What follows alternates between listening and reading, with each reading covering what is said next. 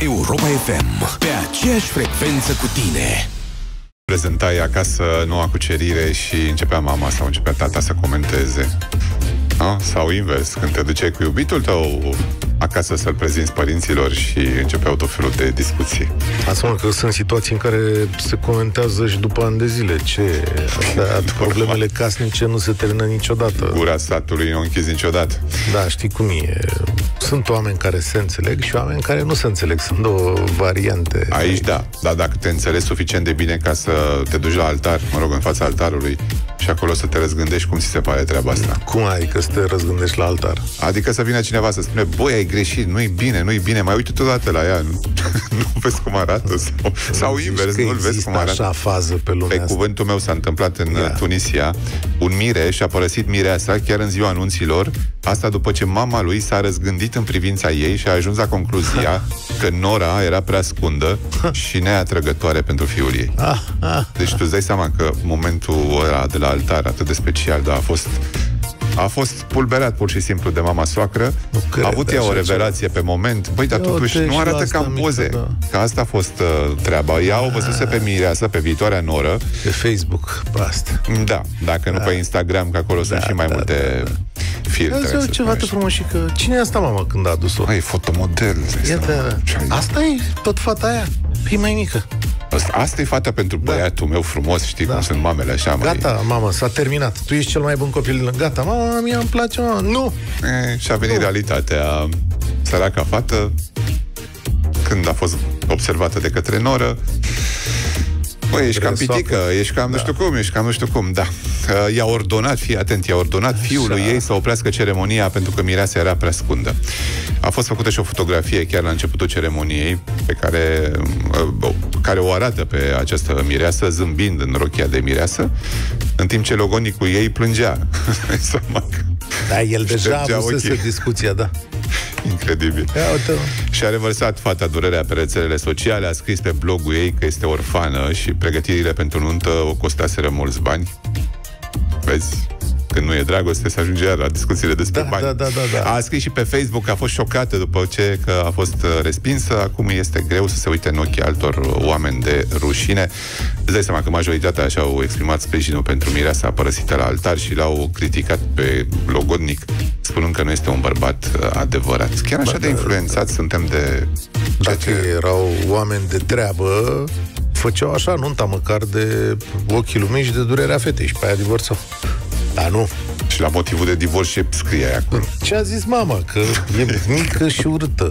Dar sunt oameni care sunt influențați, așa, sunt niște cazuri A. speciale. Da, Vă exact, vi s-a doamne. întâmplat ca părinții să vă influențeze chiar așa alegerile în viață? Sau în... poate știți cazuri. Eu am mai aflat câte una alta despre asta, adică am mai știu așa, na, nu zic prieteni, am pe care îi cunosc. Mai comentarii, da. Strân, comentarii sunt în toată, toate viața. familiile. Toate familiile da. bănuiesc eu că nu-i lapte și miere, ca o să-și spună diverse lucruri, știi, soacre, socri. Și aduc aminte copii. de chestii de acum 20-25 oh, de ani, din ziua anunții. Totul notat, n-ați vrut să faceți aia, știi, ca și cum ar conta.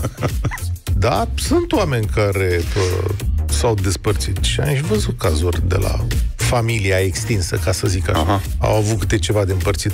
Nu au mai rezistat până la urmă, presiunea a fost atât de mare pe ei din toate părțile, încât uh, au zis, băi, gata. Când vine vorba și de împărțel și de bani și de asta, lumea, da, de asta motiv în care să zică, haide mama, lasă-o că e urâtă, adică... Și chiar acolo la biserică, știi? Mie îmi place, eu o iubesc. Cum să iubești, mă, n-ai văzut ce arată sau invers. Pe ăsta l-ai luat. Nu, dar pe bune. care n-a făcut, care n-a dres. Părinții voștri s-au băgat vreodată în uh, relație. Cum mai stau lucrurile? La 0728111222 Dai tu? Sau... Uh, nu, dai play. Ia, ia, ia fie, fiți atenți aici.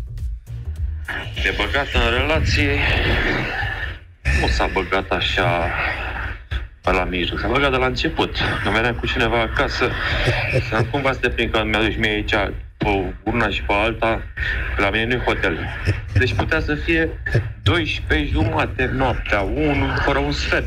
Cum dormea? Mama nu, simțea tot. Ce făcea ea? de cum mă, tura, mă. La unul fără un sfert simțea ea că vine cu cineva acasă. Da, cam astea sunt întâmplările mele cu mama mea. Ea nu era împotriva la relație, era împotriva la fete, să nu aduc prin hotel. Pam, pam. Voia să vadă ea tot, să știe tot. Excelent. Da. Neața, Excelent. băieți. Salut. Acum vreo 2 ani, ceva de genul ăsta, a murit socrul meu.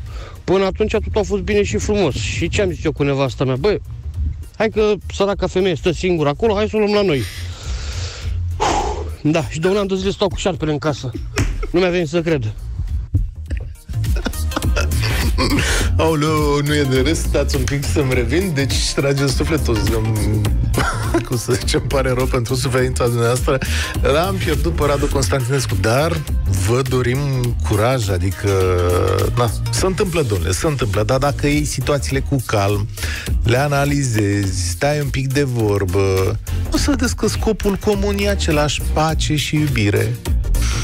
Păi trebuie să ai o sticluță cu, cum se numește la de te mușcă șarpele și trebuie să ai antidotul. De antiviperin. De Așa, ceva de genul. Nu viperin, antivenin de ăla. ce să- Bună dimineața! Apropo de această temă, da, în relația noastră s-au băgat socrii mei, zice Adriana din Prahova. Ei bogați, eu săracă, dar nu au reușit. Avem 41 de ani de căsnicie.